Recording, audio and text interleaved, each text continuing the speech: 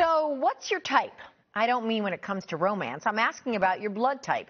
A recent survey of people in our area found nearly 40% have no clue about their blood type. Almost 60% say they've never even thought about it. About half wrongly believe blood type is determined by weight, height, or diet. And one quarter of those taking the survey think their blood type can change. The survey was done by the company AnyLab Test Now. With me now is Roseanne Silver with AnyLab Test Now. Roseanne, before we begin, I just want to share with our viewers some things to know about blood types so that we can dispel some of those misconceptions. First, your blood type is inherited from your parents. The most common blood type is O positive. Two recent studies suggest that people with type O may have a lower risk of catching COVID 19 and developing severe complications. That's one of the important points here. Type A has been linked to a higher risk of some cancers, heart disease, and memory loss. Do we know why the blood type is puts you in a higher risk category for some of these things? So it's it's a genetic uh, material, right? It, it's blood type is based on the presence or absence of antigens on our blood cells. So studies have been done by researchers. For example, one study shows that types A, B, and B have higher risk of heart disease. You know, I would want to know my blood type because maybe if I am in one of those categories, I'm going to think, wow, heart disease, I should get my cholesterol checked too. This is your space. So were you surprised about anything in, in this survey, the results about what people were saying about their blood type? I'm not surprised because I think in general, people haven't been in tune with their bodies and their health.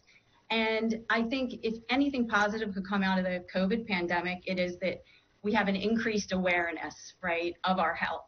We're constantly being asked to monitor it right now. And as you mentioned before, there's some preliminary retrospective studies that are, are looking at um, COVID and linked to blood type. Of course, the jury's out on that right now. Um, but we had seen some people come into the lab also that had heard this uh, about these studies and come in and say, you know, I want you do blood, uh, you know, you can check our blood type. We want to get that mm-hmm. done too. Um, and like I said, it's information they can use not only for their health um, to know if they have higher risks of certain diseases, but you know, it's the season of giving, right? We can use that information to help others. The blood supply is, is in a shortage right now. So uh, I know the Red Cross is asking for blood. Just knowing that you're type O blood, you know, your your blood is in the highest demand. Can um, you so tell us why type O is so valuable? Um, so type O is uh, basically it's a universal donor, right? So when people are in traumas or surgeries, for example, and they, and they need blood, um, type O is compatible with all the different blood types. There's eight different blood types. Um, so, you know, like I said, knowing that will create an environment where, you know, you may use that information to help other people as well as yourself.